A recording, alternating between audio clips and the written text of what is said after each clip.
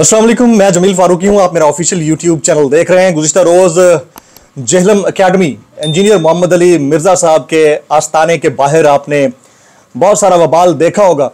और उसकी वजह यह बनी कि वो काफ़ी दिन तक मनाजरे का चैलेंज करते रहे। और हमारे एक दोस्त हैं, अज़ीज़ दोस्त मेरे साथ बैठे हैं। बड़े खुश इल्हान, खुश गुफ्तार, पाकिस्तान के अच्छे एंकरों में से एक मोहम्मद अवैस रब्बानी। ये और इनके साथ मुफ्ती मोहम्मद हनीफ कुरैशी साहब। वो पहुँच गए जहरम अकेडमी के बाहर और वो मुनाजरा करना चाह रहे थे। बहरहाल वीडियोस आती रही, ये गाड़ी के अंदर से वीडियोस भेजते रहे। बाद में वहाँ पर क्या हुआ, किसी को कुछ नहीं पता चला। I was the first anchor to elaborate it on the digital media और यूट्यूब पे मैंने एक व्लॉग भी किया। आज मैं बनफ से नफीस भाइयों की खिदमत में पहुँच गया हूँ, हाजिर हो गया हूँ। एक तो मुफ्ती हनीफ कुरैशी साहब का व्लॉग मेरे साथ आपने, खसूसी आपने देख लिया होगा। अब ज़रा जो इस तमाम मामले की बोन ऑफ़ कंटेंशन जिसको कहते हैं। यानी जो असल में असल में जो वजह मामला है वो है अवैस रब्बानी साहब क्योंकि इन्होंने डिसाइड किया था कि ये मुनाजरा होना चाहिए। इनसे बात करते हैं। अस्सलाम अवैस कैसे वालेकुम अस्सलाम खुश आमदेद खैर मकदम। आप हमेशा नंबर वन है। सिर्फ़ खबर ही नहीं बल्कि ज़रूरत में भी नंबर वन है। लोग आपकी मिसालें देते हैं और आने वाली नस्लें ये ज़िक्र करेंगी कि जमील फारूकी का अंदाज गुफ्तु फिर उसकी ज़रूरत जसारत हरारत हर शय मिसाली है और हमें इसीलिए आपसे मोहब्बत है। सर सर सर सर, देखिए, माशाल्लाह से अल्लाह पाक और आपको, आपके वो कहते हैं ना कि ज़ोर ज़बान में और अल्लाह ताला मजीद ताकत दे। आमीन। अच्छा सबसे पहले तो बताइए कि आपको इनवाइट किया गया था या आप खुद से पहुँच गए? और फिर वहाँ मामला हुआ क्या, रब्बानी साहब? जी, चार महीने से ये सिलसिला चल रहा था और सबसे पहले गुफ्तु मुफ्ती हनीफ क्रैशी हाफिज ताला के साथ हुई, जिसको, जिसमें ज़िक्र हुआ इंजीनियर मोहम्मद अली मिर्ज़ा का, यानी हनीफ क्रैशी साहब ने चैलेंज किया इंजीनियर मोहम्मद अली मिर्ज़ा को। और हमने इस पर कोई बात नहीं की, सारे आपके साथ प्रोग्राम हो रहा है और जिसके बारे में गुफ्तु हो रही, जब तक वो उसको रेलिवेंटली टच ना करे, हम उसको कुछ नहीं कह सकते।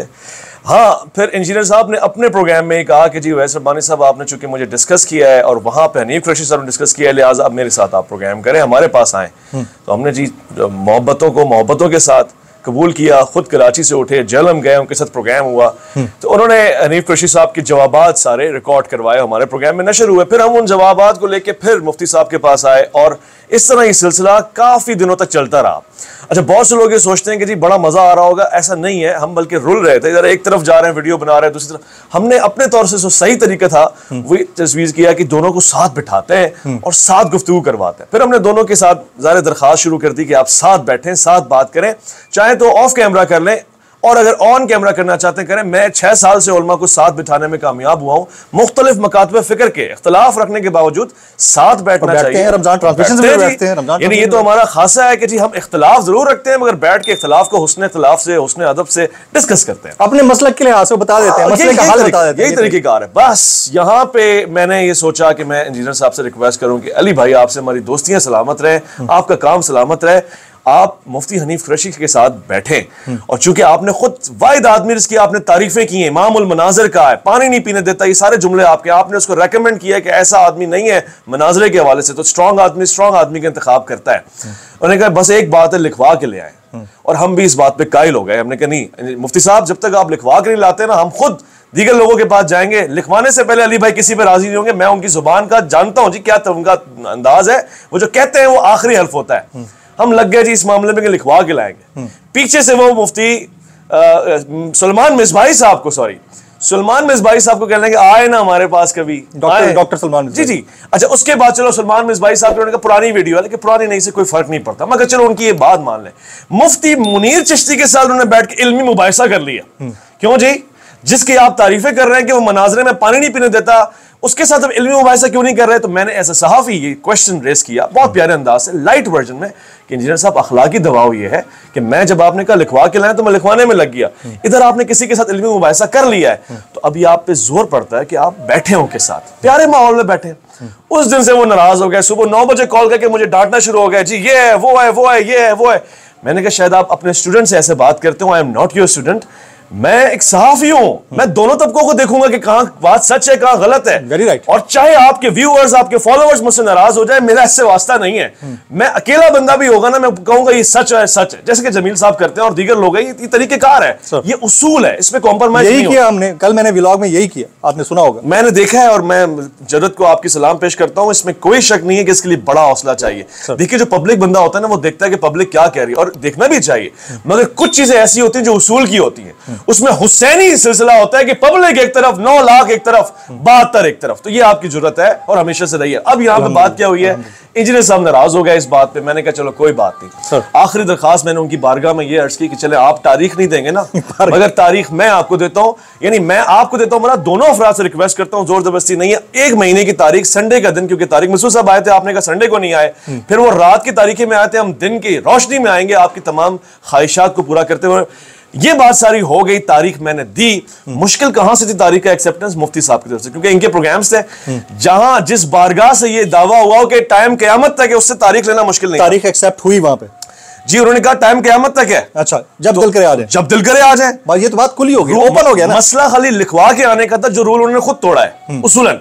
मसला तारीख का नहीं था टाइम कयामत तक था वो अलग बात है कि 26 नवंबर को कयामत आ गई। और ऐसी आई कि सबने देखी। अच्छा उसके बाद भी बड़े दिलचस्प सिलसिले हुए।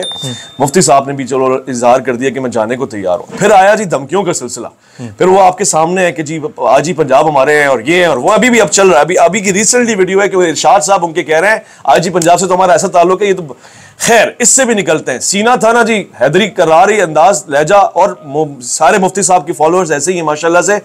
जी, सुबह उन्होंने कहा, अब जो भी आ जाए, ये भी उनका ऑन रिकॉर्ड वीडियो है कि नौ बजे से पहले जो भी आ जाए प्राइम मिनिस्टर ऑफ़ पाकिस्तान भी आ जाए, हम उसको वेलकम करेंगे, ऊपर बिठाएँगे और सारी बातें। हम पौने नौ बजे भूखे नंगे, नाश्ता जो भी सिलसिला छोड़ के वहाँ पहुँचे खड़े हो गए टाइम देखा मुझे हम आ गए इंजीनियर साहब, हम आ गए अच्छा इंजीनियर साहब के अपने जुमले थे कि दूल्हा नहीं राज़ी बराती नहीं राज़ी बराती आना चाह रहे हैं दुल्हन नहीं राज़ी। हमने कहा जी दूल्हा भी खड़ा है बराती भी आए वकील भी लेके गए गवाह भी लेके गए काजी भी लेके गए और लोग भी वहाँ थे और सारा सोशल मीडिया देख रहा था। नहीं आई तो दुल्हन बाहर नहीं आई। क्यों नहीं आई?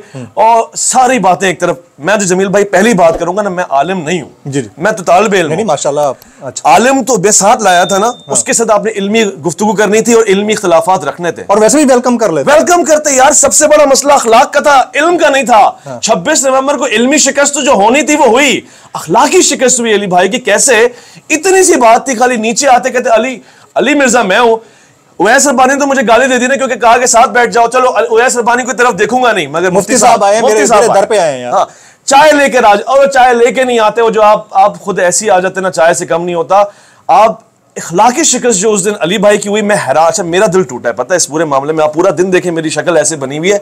यार, मैं इसको बहादुर आदमी समझता था, ये ललकारता है दुनिया को।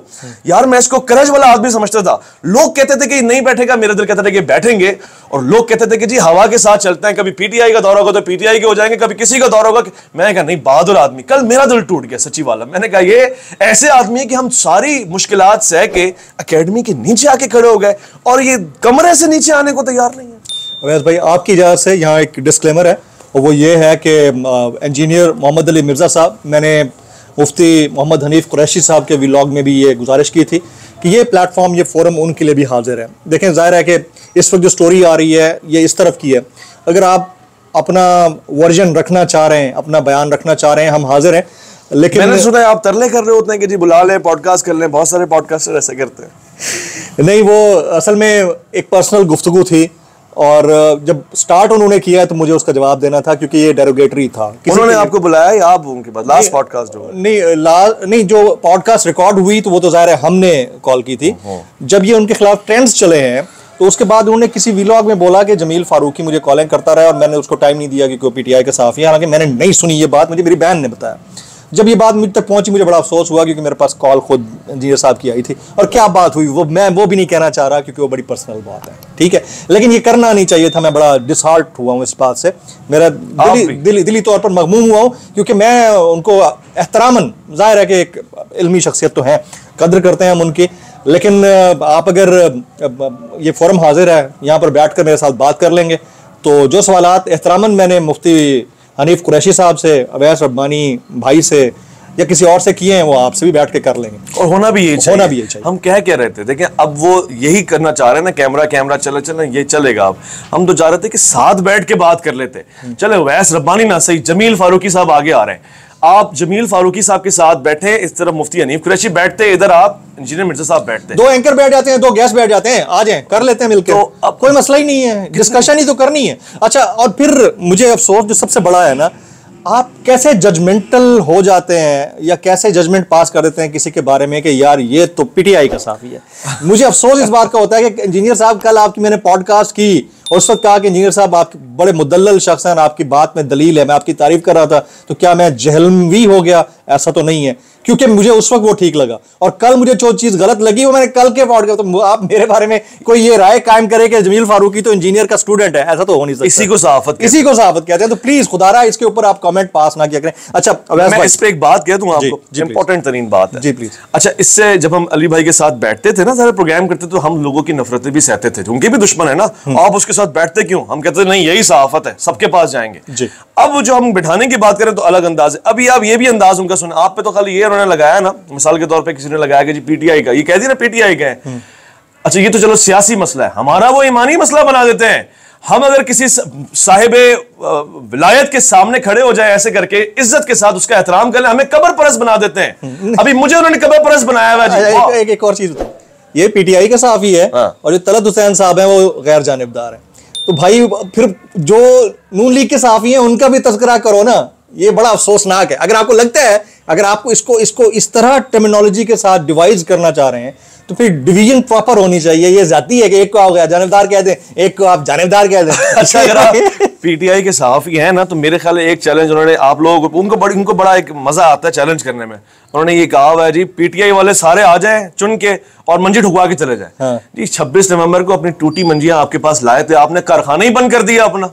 ये कैसा मंजी ठोकने का कारीगर अच्छा वैस भाई अब आपसे अगला सवाल ये है कि आप लोग वहाँ से आ गए। वहाँ जो होना था हो गया। उसको हमने भी रिपोर्ट कर दिया। अभी आपका इंटरव्यू भी जा रहा है। उसके बाद कोई रिएक्शन आया है उनकी तरफ़ से? कोई कॉल आती है या कोई बात कि यार गलती हो गई आइंदा के लिए रख लेंगे? ये मर्दों का काम है। दुल्हन कहाँ ऐसा करती? दुल्हन तो खामोशी से शर्मा जाती है जो कर रही है कल से।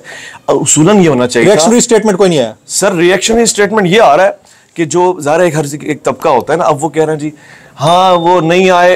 अच्छा एक वीडियो ये आ रही है कि हम तो अकेडमी में बैठे हुए थे मरते तो अंदर आते ना आप। तो यार ये क्या बच्चों वाली बात है? करने वाले इतने होते हैं भाई मैं आपको तो वीडियोस भेजूँगा जिसमें कह रहे हैं हम बैठे हुए मर्दों अंदर आओ। ओ यार क्या मतलब आप अपना कॉमेडी मज़ाक बनाना चाहते हैं? ये तमाशा आपने अपना नवंबर ऐसा कर दिया है लोगों का अल्लाह अकबर मज़ाक बन गया आपका। मैं एक छोटी सी बात आपके इस प्लेटफॉर्म से कहना चाहूँगा। हम वाकई जितना इंजीनियर मिर्ज़ा साहब को जानते थे ना हम एक बहादुर आदमी की तारुफ में जानते थे। इस वक्त आप एक जोकर लग रहे हैं हमें। कभी आप सियासी जो, जोक मार देते हैं कभी। अच्छा सियासत सियासत के ऊपर उन्हें कमेंट करना चाहिए जी। बिल्कुल नहीं उनको मज़हब पे भी नहीं करना चाहिए। उनको अपनी रिसर्च रखनी चाहिए जो वो रिसर्च पेपर छापते रहते हैं। जयीफ हदीस की सही मगर वो कहते हैं मेरे रिसर्च है।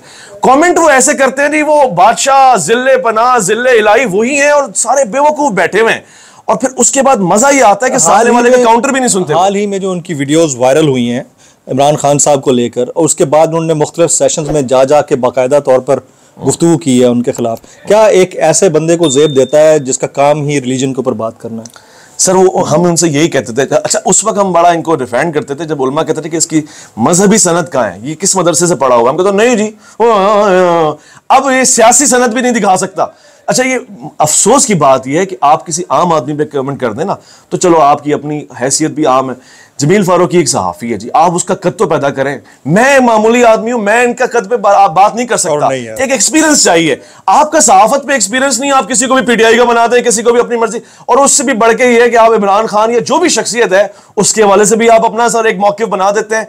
सर मुझे तो बड़ा अफसोस हुआ मैं मजहबी हवाले से भी पसमानदा जहनीत रख देख रहा था इनकी। मगर अब मुझे सियासी हवालों से इसके अलावा मुझे लगता है कि कल को ये कार्टून नेटवर्क पे भी कमेंट करेंगे ना वो भी ड्रॉप हो जाएगा। वो भी इनकी कम अकली होगी। क्योंकि जुरत अखलाकी जुरत मैं इनकी एक बात से बड़ा मुतासर था मैं आपको बताऊँ। जी। हज़रत औलिया के ऊपर तो ये बड़ी गुस्ताखियाँ कर चुके थे मगर हज़रत अली का ज़िक्र बड़ी मोहब्बत से करते थे हम तो हज़रत अली के चाहने वाले हैं ना।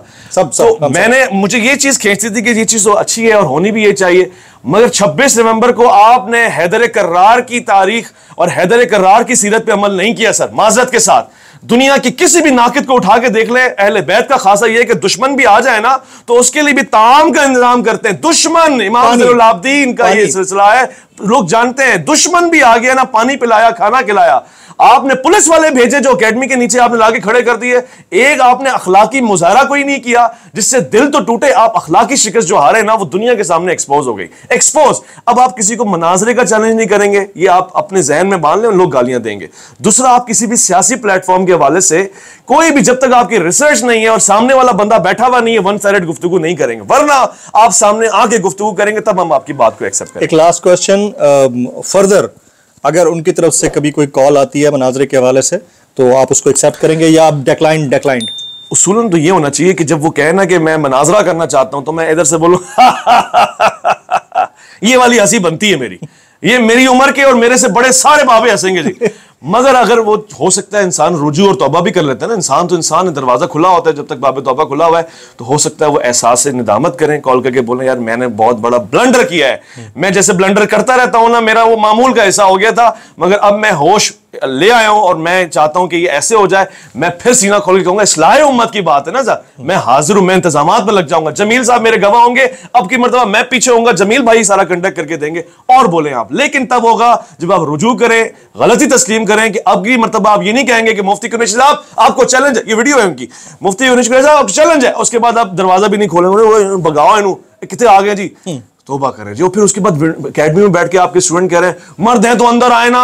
यार, ये औरतें करती हैं ये बातें, खुदा को माने जी। वेरी राइट मोहम्मद अवैस रब्बानी साहब एंकर पर्सन हैं। जीटीवी में आप बेहतरीन एक प्रोग्राम होस्ट करते हैं। आपका बहुत बहुत शुक्रिया अवैस। फिर मेरा नुक़ नज़र ये रहेगा इंजीनियर मोहम्मद अली मिर्ज़ा साहब को लेकर के, अगर आप कोई बात करना चाहें, आप कोई मौक़ रखना चाहें तो ये सिर्फ़ वन साइड गुफ्तगू नहीं है। मेरे पास पूरा मार्जिन है आपसे सवाल करने का और आप किसी भी तरह से जवाब देना चाहें अपने पास बुलाना बुलाते हैं मैं वहाँ आ जाऊँगा मेरे पास आना है तो मैं हाजिर हूँ। मैं एक बार बार देना चाहता हूँ आप लोगों को। इनके लिए नहीं है मर्द मुजाहिद वो होता है जो हर दिन कोई मुसीबत देखता है मुस्कुराहट के साथ।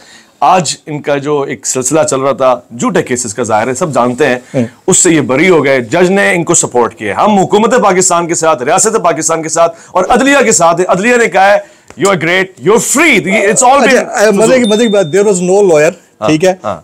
मैंने आर्गुमेंट्स किए हैं और आज मैंने तकरीबन कोई दस से एक मिनट के आर्गुमेंट्स किए हैं और हाँ।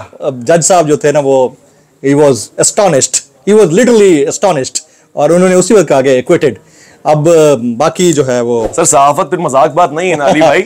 मुझे- काफ़ी आदमी वकील भी होता है मैं मुकर्रर भी होता है। एक बहुत बड़े वकील हैं साबिक सदर इस्लामाबाद हाई कोर्ट मैंने उनको बताया मैंने कहा सर केस इक्विटेड कहते आज से आप जर्नलिस्ट नहीं है आज से आप बैरिस्टर प्लस जर्नलिस्ट तो मैंने कहा आपका बहुत बहुत शुक्रिया। तो खातिन इजाज़त दीजिएगा आज के ब्लॉग से इतना ही। असल वरहमल वबरकातुहू